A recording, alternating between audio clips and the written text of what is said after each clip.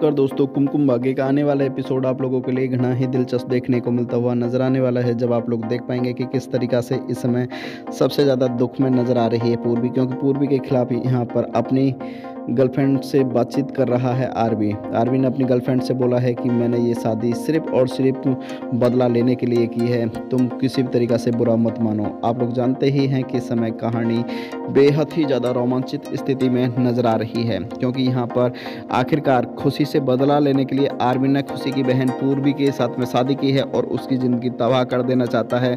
और इसमें पूरा जो साथ देगी वो कोई और नहीं, बल्कि आप लोग जानते ही कि आरवी की गर्लफ्रेंड देती हुई नज़र नज़र आने वाली है, क्योंकि आरवी की गर्लफ्रेंड यहाँ पर पूर्वी से मुलाकात करेगी, जिसके बाद में यहाँ पर पूर्वी पूछेगी कि आप अपना परिचय दें मुझे तो उसके बाद में वो बता देगी कि मैं तुम्हारी सौतन हूँ। जी हाँ दोस्तों, क्योंकि यहाँ पर साफ़ साफ़ टारगेट किया जा रहा है इस समय आरबी की फैमिली आरबी आरबी की गर्लफ्रेंड सभी लोग टारगेट कर रहे हैं इस समय खुशी को भी और यहाँ पर पूर्वी को भी। क्योंकि दोस्तों, इस तरीक़ा से दुश्मनी निकालेंगे, वो वास्तविक दोस्तों खुशी ने सोचा नहीं था कि मेरी गलती, मेरी बहन के साथ में आखिरकार इतना सब कुछ करेंगे, वो भी आप लोग जानते हैं कि राजवंश की फैमिली क्योंकि दोस्तों, राजवंश की फैमिली इस समय इतना गंदा खेल खेलती हुई नज़र आ रही है, एक सीधी सादी लड़की पूर्वी के साथ में।